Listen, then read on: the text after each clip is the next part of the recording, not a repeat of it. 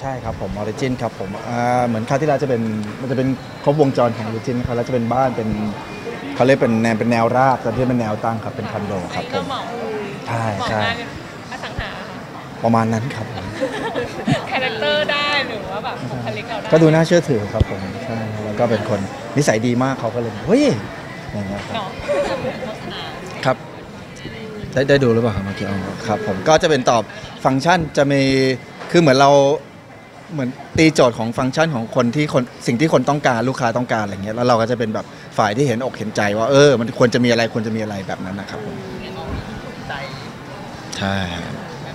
ใช่แม่บ้านถูกใจมากดีมากเลยครับผมก็คือเรานอนอยู่ในห้อง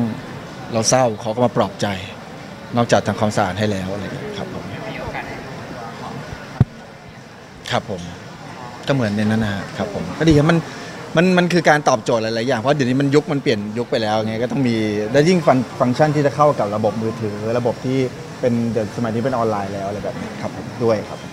ใช้ชีวิตง่ายขึ้นฝากถึงคนอยากมีคอนโดครับผมก็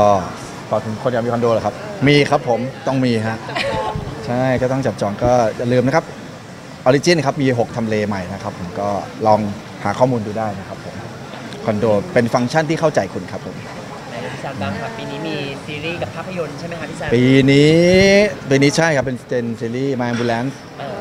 นักชุดใจนักฉุกเฉินครับผมแล้วก็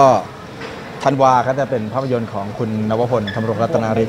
ใช่เป็นเรื่องอะไรเปิดเผยได้ไหมครับพี่เป็นเรื่องอะไรอ่าตามที่ผู้กำกับเขาบอกจะเป็นภาพยนตร์โรแมนติกพอสมควรครับ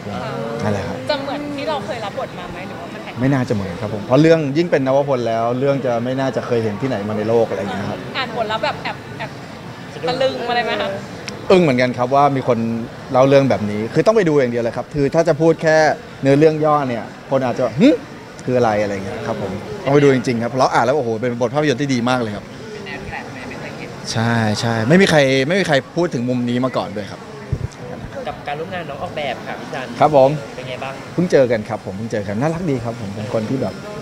เขาดูเป็นนางแบบสุดๆเลยใช่ไหมแต่ว่าเราเขาจริงๆเขามีความเด็กอยู่มากเลยครับแบบเป็นเด็กสดใสน่ารักอะไรอย่างเงี้ยครับผมนะยังฮะไม่ได้เปิดตัวขายยังยังยังครับผมแต่ว่าจะมีงาน มันเขายังไม่มีจะเป็น working title ใช่ครับผมเพราะเดี๋ยวจะมีแถลงข่าวก่อนฉายประมาณเดือนหนึ่งอะไรอย่างเงี้ยก็จะบอกตอนนั้นครับ แอบมีเวิร์กช็อปหรือว่ายังไงกันบ้างครับผมตอนนี้ก็มีช่วง fitting แล้วก็เวิร์กช็อปยังครับผมเพราะว่าผมต้องทำงานอื่นอยู่อะไรเงี้ย ก็เลยแบบว่าเราให้เคลียร์เป็นทีละอันก่อนแล้วค่อยมาถ่ายอันนี้อะไรเงี้ยครับจริงๆช่วงนี้พี่ซันทำอะไรอยู่บ้างครับเพราะว่าทำอะไรอยู่บ้างเลยครับออกหน้าจอก็อยู่อยู่นอนเล่นเกมครับอ่าออนไลน์เนาะใช่อย่างเดียวเลยฮะกด เล่นแมว ใช่อะไรเงี้ยล้อเล่น ผมทำงานสิอ๋อ เหมือนอย่างเงี้ยอย่างงี้ก็คือทำงานแล้วก็มีถ่ายโฆษณาแล้วก็เดี๋ยวมีถ่ายหนังอีกเรื่องหนึ่งอยู่ด้วยอะไรเงี้ยนี่เป็นช่วงที่แบบเวลารับหลายๆหลายๆเรื่องพร้อมๆกันไม่หรอกครับอ่าเป็นมันเป็นสิ่งที่อยากทำและชอบพอดีบังเอิญเข้ามาพร้อมกันพอดีอะไรเงี้ย แต่ว่าอีกเรื่องหนึงน่าฉายปีหน้า ปีครันี้บแสดงว่าถ่ายทำภาพยนตร์สองเรื่อง ใช่ครับ เพราะเพราะว่ารักชุดใจนาฉุกเฉินถ่ายเสร็จแล้ว ใช่ครับผมจะหนักไปไหมสองเรื่องแบบติดกันถ่ายทำมันต่อกันเฉยๆก็คือเสร็จทีละอันครับผมเราจะไม่สลับเพราะสลับผมทำไม่รู้ทำได้หรือเปล่าอะไรเงี้ยคือเราไม่ไม่ถเคนัยดไม่เคยรับพร้อมกันใช่เพราะมันต้องทิ้งมันต้องวางคนละเสร็จอันนี้แล้วแล้วทิ้งใช่ แล้วก็ทิ้งคนนี้ไปไปไปอยู่กับอีกคนหนึ่งอะไรอันนี้เป็น กฎในการรับงานของเราเลยไหมคะว่าจะไม่รับไม่ผมอาจจะไม่ได้คิดนะครับเรารู้สึกว่าเราอาจจะไม่มีความสามารถพอที่จะสลับ เราก็เลยรู้สึกว่าเพราะเรามัวเอาแต่เอาแต่เล่นกับเรื่องอื่นในชีวิตด้วยอะไรเงี้ยเราก็เลยโฟกัสเป็นอย่างๆไปดีกว่าอะไรเงี้ยไม่อยากจะเป็นเหมือนทำหลายๆอย่างแล้วเดี๋ยวมันจะไม่ดีสักอย่างอะไรเงี้ยเพราะเรื่องหนึ่งเราก็ทุ่มให้กับตัวละครมันเข้าไปอยู่ในตัวละครใช่ต้องเป็นอย่างนั้นเพราะแต่ละแต่ละคนมันก็ไม่เหมือนกันนะครับอย่างเช่นอย่างทางร่างกายก็ต้องไม่เหมือนกันด้วยครับเราต้องเลือกไหมครับภาพยนตร์แต่ละเรื่องอ่าต้องเลือกไหมรู้สึกว่ามีคนที่ให้เกียรติเราเราก็รู้สึกดีใจแล้วครับเวลาเขาส่งบทภาพยนตร์มาให้อ่าน แล้วก็เวลาเราอ่านแล้วเรารู้สึกว่าอุ้ยทำไมมันดีขนาดนี้เราเห็นความตั้งใจของเขาสุดๆแล้วยิ่งเขาเลือกเราอีกเราก็รู้สึกเป็นเกียรติมากขึ้นไปอีกเลยทีนี้ก็ทำงานอย่างเดียวไม่มีรัก ครับเนอะ ไม่เกี่ยวหรอกทำยิงทำงานอย่างเดียวทุกวันก็หาได้นะเออใช่ไหมแต่ว่าเรายังเรายังไม่ได้โชคดีที่เจอ เราไม่เหมือนโบธนากรที่โชคดี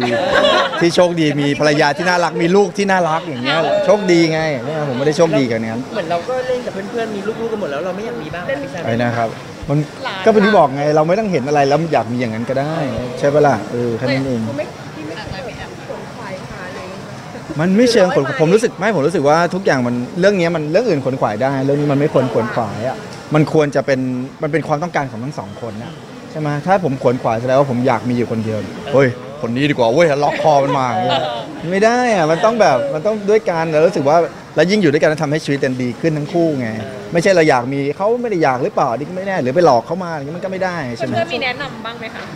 มีไม่ไม่เชิงแนะนำครับถ้าจะเป็นโอปอยเขาจะห่วงเรามากห่วงสุดๆห่วงแบบ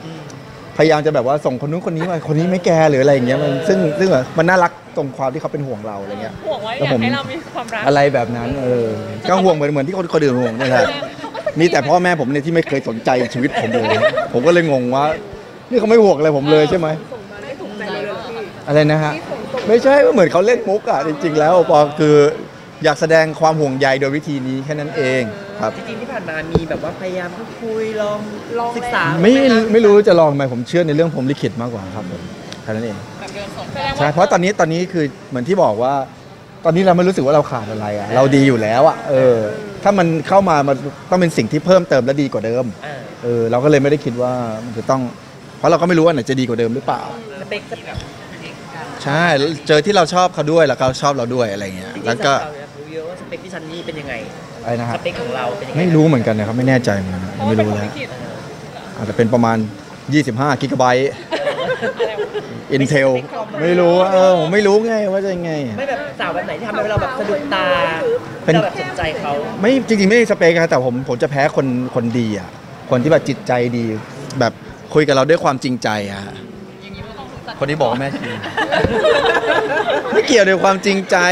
คนอื่นก็ดีได้ใช่ไหมไม่ต้องเป็นจะต้อง มันคุยแล้วสัมพันธ์ได้ ใช่แบบว่าผมจะแพ้คนที่มีความจริงใจคือ คือจริงใจต่อคนอื่น แบบเห็น เป็นห่วงคนอื่นดูแลคนอื่นอย่างดีอะไรเงี้ยผมจะชอบคนแบบจนี้ริงๆฝันไหมคะว่าเราก็อยากจะมีงานแต่งเป็ฝันเลยเหรอฮะไม่เคยเลยดฮะไหม ไม่ผมฝันว่ากลัวฟันหลุดกลัวตกจากที่สูงแค่นั้นแหละฮะ อะคิดก็ได้ฝันอะไรนะ คิดว่าอยากจะมีงานแต่งไหมเออมันไม่เคยคิดในหัวเลยฮะไม่ว่าเรื่องอะไรก็เหอะในชีวิตผมไม่ได้เคยคิดไปข้างหน้าเลยว่าอีก 3 ปีผมจะทำอะไรอะไรอย่างเงี้ยหรือพรุ่งนี้ผมจะทำอะไรผมจะรู้แค่สิ่งที่จะทำสั้นๆเนี่ยไม่เคยวางแผนเลยเลยในชีวิตไวกว่าไม่กดดันเลยนั่นแหละครับผมก็เลยแปลกใจว่าเพราะอะไรคื อถ้าเป็นครอบครัวอื่นเขาอาจจะพูดว่าเมื่อไหร่จะแต่งงานแล้วลูกอะไรเงี้ยแต่แม่ผมไม่เคยพูดสักคำเลยครับผมก็เลยงงว่า คือเขาคงไม่อยากให้เราไปแต่งกับใครมั้งหรือว่าเขายังอยากให้เราเป็นเด็กตัวเล็ก ๆ ของเขาอยู่เพราะเขาไม่เคยพูดจริงๆฮะไม่เคยเดินมาสักครั้งบอกว่าเมื่อไหร่จะมีแฟนอะไรเงี้ยอะไรเงี้ยอุ้มหลานเลยเนี่ยไม่เลยครับ แปลกมาก ซึ่งแปลกใจผมมากเหมือนกันฮะถึงแม้ผมไม่รักผมก็ไม่รู้ วัยเราเป็นอุปสรรคไหมพี่ซัน ไม่น่านะครับผมเพราะเท่ขนาดนี้มันจะเป็น มันจะเป็นอุปสรรคได้ยังไงครับผมความหล่อเรามันเข้าตาสาวๆเยอะเหมือนกันนะไม่มีเหรอครับจริงมากจริงมากจริงมากแล้วผมต้องพูดอะไรนะต้องถามอะไรคำถามคืออะไรนะฮะแบบว่าความหล่อเราอะอ๋อ ชอบเยอะ จริงมากฮะเขาจะเกลียดผมก็ได้แต่เขาไม่บอกแค่นั้นเองใช่ไหมฮะอือฮึ